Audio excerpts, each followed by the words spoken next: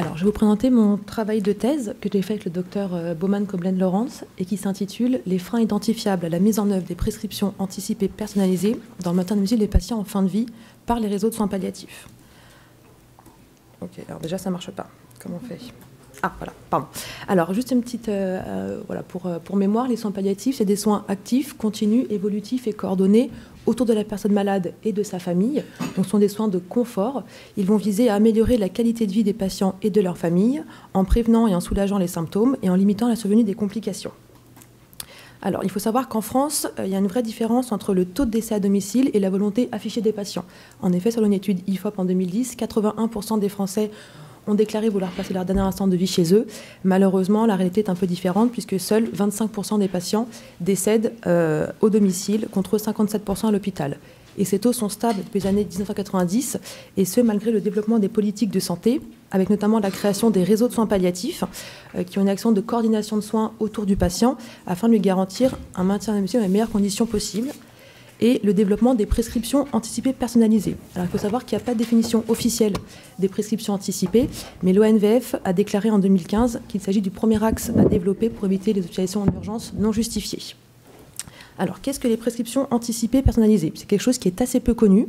Donc, c'est des prescriptions médicales à visée symptomatique, personnalisées, rédigées à l'avance, réadaptables, applicables sans l'intervention du médecin et en accord avec le projet du patient.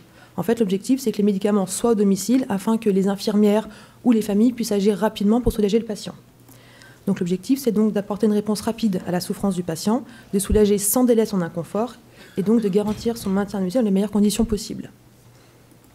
Alors, on a donc fait euh, une étude afin d'identifier les freins à la mise en œuvre des prescriptions anticipées personnalisées par les réseaux palliatifs d'Île-de-France.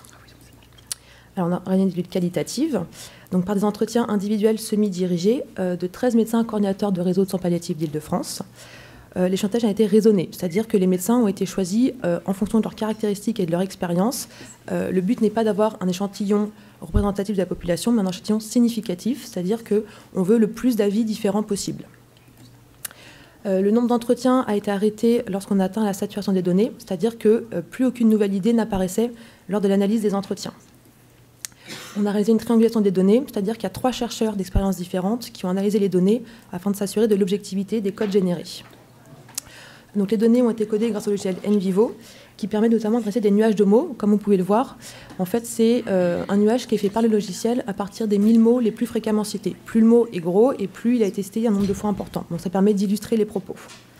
Et enfin, les données ont été analysées par la méthode de la théorisation ancrée. Alors donc là, c'est une petite diapo pour montrer un peu l'ensemble des, freins que nous avons, euh, nous avons relevés. Alors, il faut savoir que dans les résultats, le frein principal qui a été mis par l'ensemble des médecins interrogés, c'est les freins qui viennent du patient. Le patient, c'est la porte d'entrée dans les prescriptions anticipées, et donc c'est lui qui va être le frein principal. Donc en fait, vous voyez, les verbatim écrits en bleu, c'est ce qui a été dit par les médecins, donc c'est pour illustrer, et les nuages de mots à côté, c'est généré par le logiciel.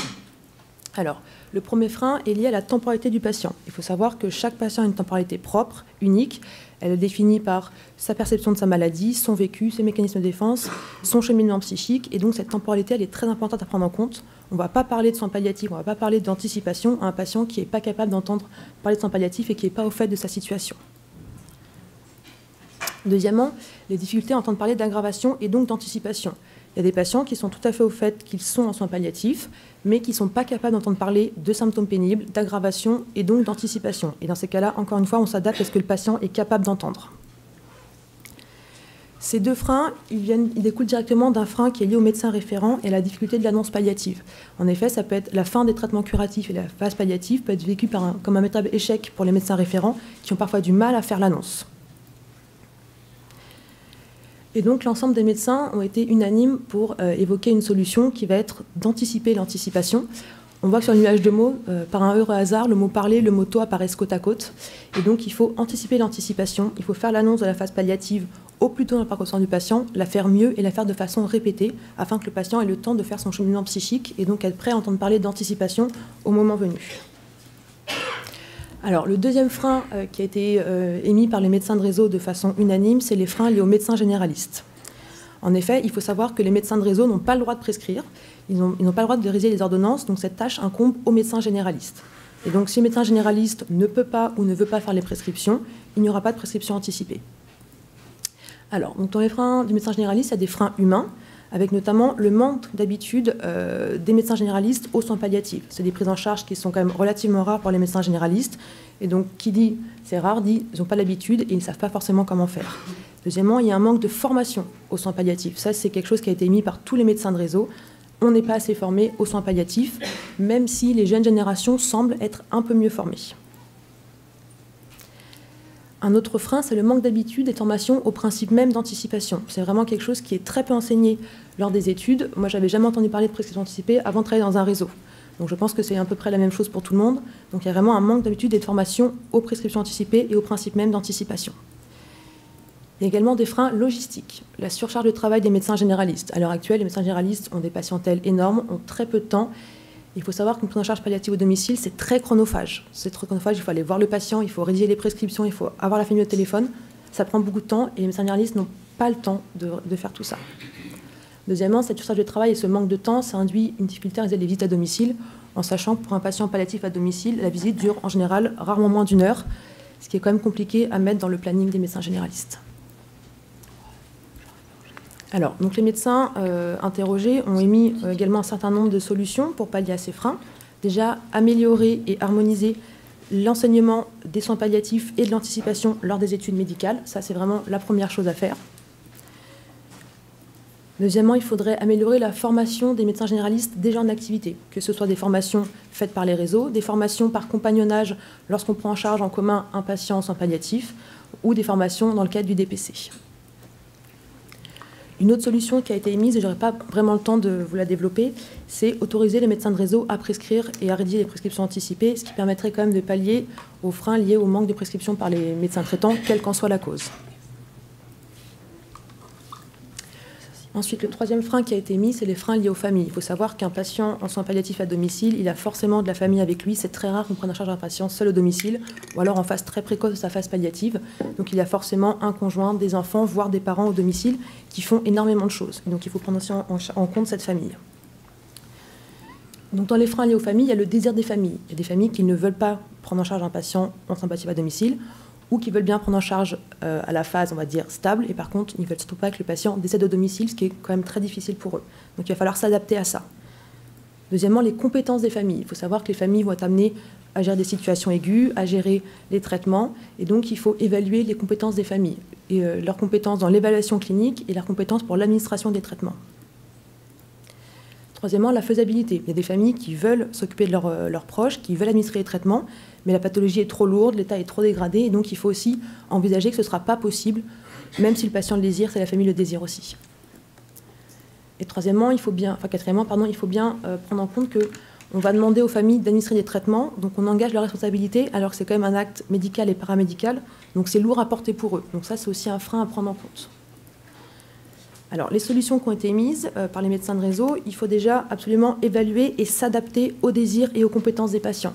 On peut peut pas demander à n'importe quelle famille de donner des traitements ou de gérer une phase aiguë au domicile. Donc il faut évaluer et s'adapter à ce qu'ils peuvent faire. Deuxièmement, il faut adapter les galéniques. On ne va pas demander à une famille de faire de l'injectable. Ça, c'est inenvisageable. Donc il faut donner sous forme de gouttes, de comprimés, éventuellement de patchs ou de suppositoires, et leur expliquer. Leur expliquer les symptômes, leur expliquer quels sont ces symptômes et comment les reconnaître, et leur expliquer comment euh, administrer les traitements. Enfin, il faut surtout leur dire qu'ils ont un recours médical, euh, qu'ils peuvent téléphoner aux médecins traitants si besoin, qu'ils peuvent téléphoner aux médecins du SAMU et aux astreintes des réseaux. A la plupart des réseaux des astreintes téléphoniques H24 où il y a un médecin au bout du fil qui, qui peut réassurer les familles, les aider dans le diagnostic et les aider à administrer les traitements. Ce qui permet aussi que ce soit le médecin qui décide, donc qui prend la responsabilité de donner les traitements et pas les familles. Une minute, ça va aller? Oui. C'est la conclusion. Alors, en conclusion, cette étude a quand même euh, trouvé une multitude de freins à la mise en des anticipée. On en a trouvé plus de 50, donc je n'ai pas eu le temps de tous vous les détailler. Donc, il y a des freins qui sont liés au fait qu'on soit en soins palliatifs, qui sont liés au domicile, qui sont liés au réseau, qui sont liés au fait même qu'on anticipe, qui sont liés à la prescription et qui sont liés à la gestion de l'aigu. Mais les deux freins principaux qui sont ressortis de tous les entretiens, c'est vraiment le frein lié au patient et le frein lié au médecin traitant. Il y a deux autres fondements qu'il ne va pas falloir oublier et qui sont revenus à chaque fois, c'est que ça prend du temps. Les soins palliatifs, ça prend du temps l'anticipation et le domicile, ça prend du temps. On ne peut pas compresser ce temps, donc il faut prendre en compte ce temps pour optimiser euh, la prise en charge des patients. évidemment, ça demande d'en parler. On parle de soins palliatifs, on parle d'anticipation, on parle de symptômes. Et voilà, le temps et le fait d'en parler, c'est vraiment des choses indispensables et il faut bien le garder en tête pour pouvoir faire au mieux. Donc dans les perspectives, donc on a dit il faut en parler tôt, il faut en parler mieux, il faut en parler de façon répétée. Plus on parle tôt aux patients et plus ils ont le temps de faire un changement psychique et plus ils vont être prêts à entendre parler d'anticipation, de symptômes pénibles et de tout ce qui va avec. Deuxièmement, il faut améliorer l'enseignement des soins palliatifs en études médicales, que ce soit par des cours, des formations, des stages en soins palliatifs, des stages en réseau. Là, il faut faire mieux parce qu'il y a des grosses lacunes encore euh, à l'heure actuelle. Il faut améliorer la formation des médecins en soins palliatifs, donc les médecins qui sont déjà en activité il faut diffuser le principe même d'anticipation et de prescription anticipée. Je pense qu'il y a beaucoup de gens qui ne savent pas ce que c'est que les prescriptions anticipées, et c'est bien dommage parce qu'il faut absolument en parler. Et encore un petit point, améliorer les modalités de retour à domicile à hospitalisation. Il y a encore trop de patients qui rentrent chez eux sans rien, sans matériel, sans aide, et qui retrouvent aux urgences 48 heures plus tard parce que ça ne tient pas à domicile. Et ensuite des solutions qu'il faudrait réfléchir avec les instances de santé, notamment la prescription euh, par les médecins de réseau. Euh, voilà, c'est quelque chose qui pour l'instant n'est pas possible, mais c'est à discuter parce qu'on dit qu'il faut que tout le monde meure à domicile s'ils le veulent, sauf qu'on n'a pas les moyens. Donc il faudrait euh, travailler un petit peu sur ça. Également le financement des réseaux des problèmes de santé du domicile. Il faut savoir que les réseaux ne peuvent pas accepter toutes les demandes qu'on leur fait. Il y a des listes d'attente pour certains réseaux. On parle de listes d'attente pour des gens qui vont mourir. C'est quand même bien dommage. Et enfin, voilà, un petit mot juste sur le dossier médical partagé pour que tout le monde ait les mêmes informations au même moment. Actuellement, chacun a un dossier différent et donc il y a des pertes de chance et des pertes d'informations pour les patients et c'est bien dommageable. Et voilà, revaloriser l'acte pour le médecin traitant parce que 33 euros à l'acte à domicile qui dure une heure, c'est quand même assez peu cher payé. Merci, Merci.